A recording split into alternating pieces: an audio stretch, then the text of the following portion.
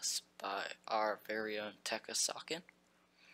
Um, it's around 243 million around the time that this video is made, but um, it should be able to pay itself off. So we have um, lasers, uh, a cloaking, a cloak, um, just in case someone tries to gank me, and a core probe launcher to scan, obviously. Uh, cap rechargers to make it cap stable, afterburner instead of MWD to help it sig tank. A small ar armor rep, and it's going to be dead space because it reps more and uh, it reps more EHP. And so, and then I use Bling Enom and a Bling Adept Nano and Blink plates um, so that it so that it's tankier. Uh, a heat sink for more damage. Auxiliary nano pump for more tank. Uh, a cap control circuit to make it uh, to for more cap. A small ancillary current router for fitting uh, 16 core scanner probes for uh, obviously scanning down things and when you carry 16 you don't have to uh, it'll automatically reload. Four times aurora uh, for sniping rats. Uh, four imperial navy standard small um, for engaging rats at the mid-range.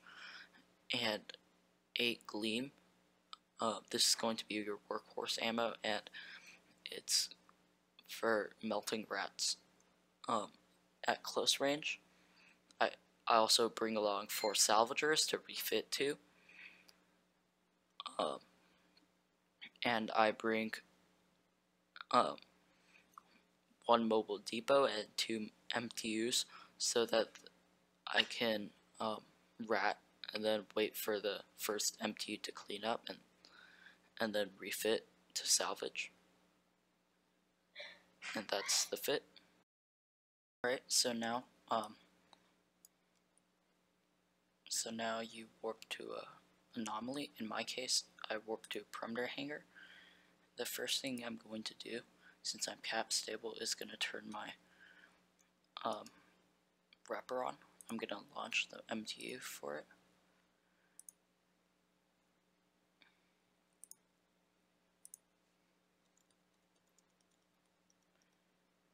And this is a C2 site, so I shouldn't have to be that worried about uh, the rats.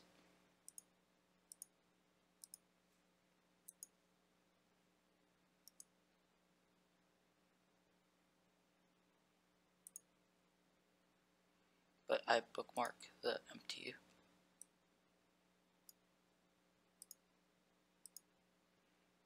And I start shooting the rats.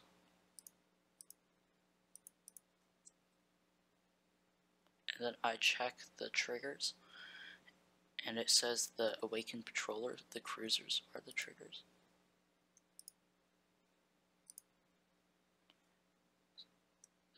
So I'm gonna lock up the uh, frigate first.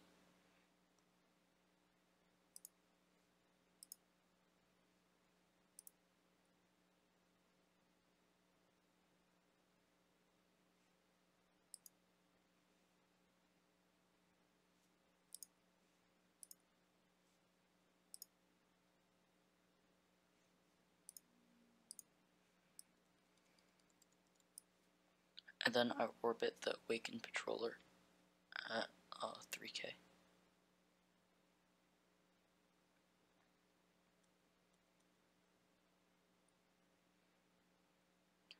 Three K allows the beams with Gleam to still track it, uh, the Awakened Patroller, while still sort of getting under the guns of the sleeper rats, and also maintaining top speed. Throughout this time, as always, you want to be continually descanning.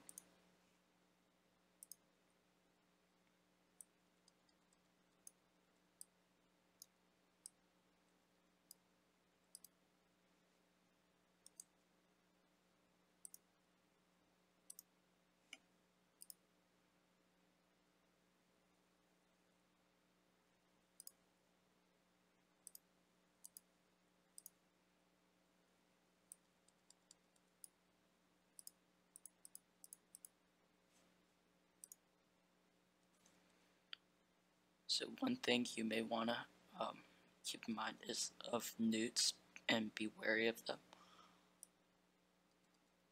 because this uh, this fit is active tank, so neuts will hurt you a lot.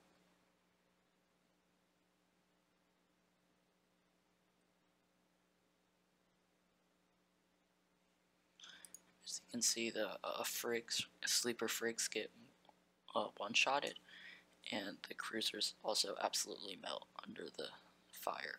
Um, and the thing that makes this fit work is that this is a Wolf Rayet wormhole, which means that it boosts, I believe, um, it boosts the stats of armor, and it also boosts a small turret, a small weapon damage. So, for example, uh, this will do, these beam lasers will do a lot more damage than they normally do. And before you get into range, you can switch to other laser crystals, for example, standard, to shoot it. And then once you get in range, uh, for max DPS, you want to use Gleam.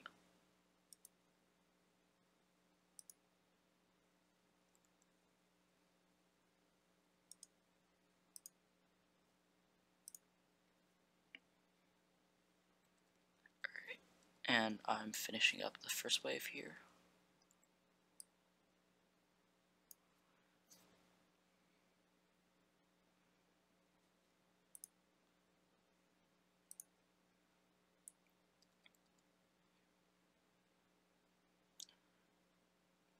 For this next one, since there's a battleship, I want to spiral in.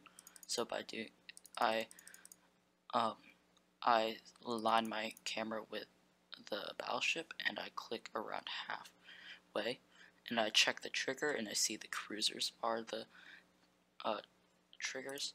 So and I'm taking a bit quite a bit of damage here so I'm switching to defensive mode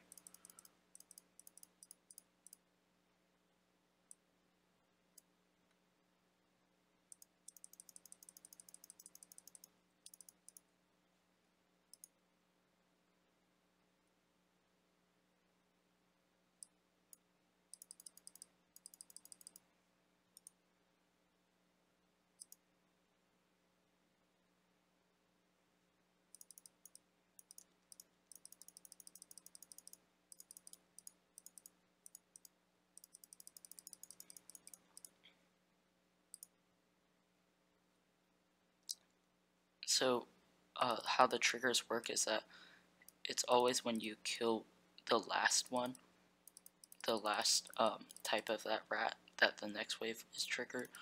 So what you can do is that you can um, leave all of the rats alive except for one of that type um, to minimize DPS if those rats are problematic for for uh, different various reasons. For example, deep, possibly DPS or neuts.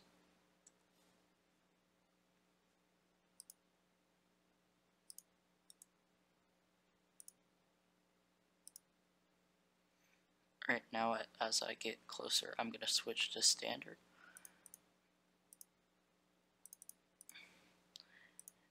And next, I'm going to be orbiting the battleship.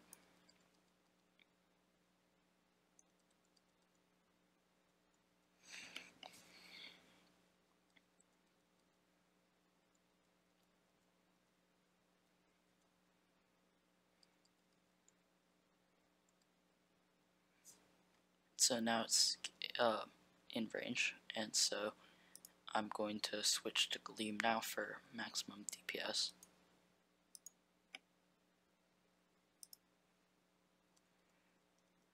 So these C13 wormholes, uh, they're always Wolf Rayet effect, which as I discussed earlier will boost um, the armor stats and the stats of small uh, weapons making the Confessor one of the best ships to use for um, C-13 ratting.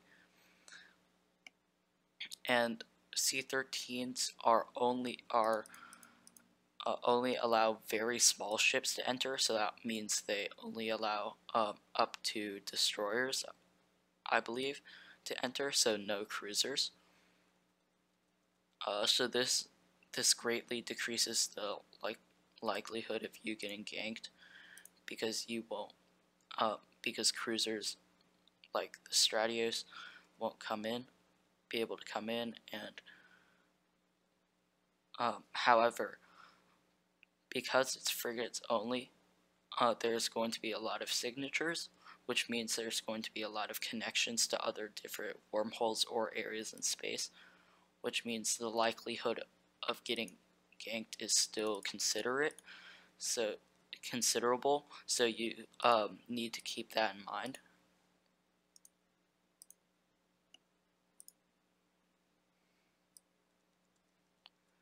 So this is the final wave of the perimeter hangar, and I'm going to switch to Aurora to start uh, plinking down these rats here.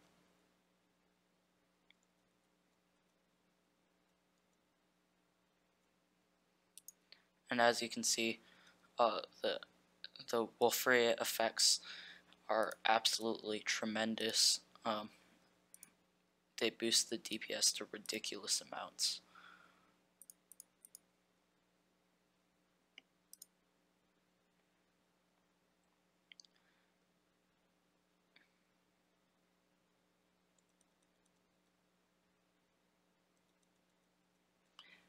a good practice before going into a hole uh, such as this is to check the zKillboard to see if there's any reoccurring activity because although game mechanics uh, make it harder to live here because no one can anchor structures on uh, shattered wormholes it's still possible that they live out of a ship in here. So you probably want to see if there's um, previous residents here. And if there's um, if there's recent activity you might want to leave. Right and so this is the last battleship and as you can see the battleship can't track me at all so it's not um, it's not hitting with its turrets.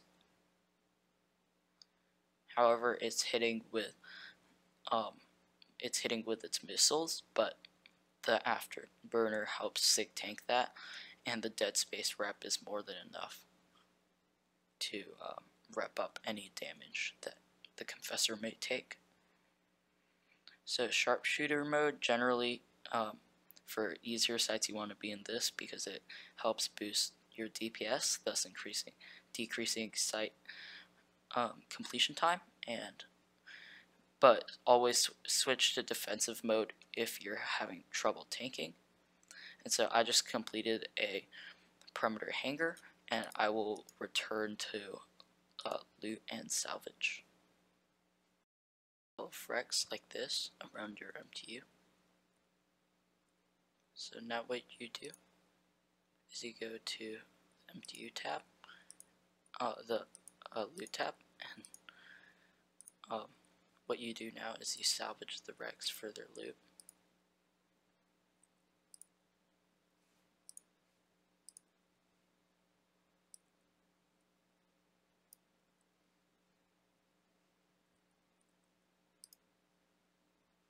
At this point, it's probably a good idea to start and try and loot the MTU and I scoop it to my cargo hold.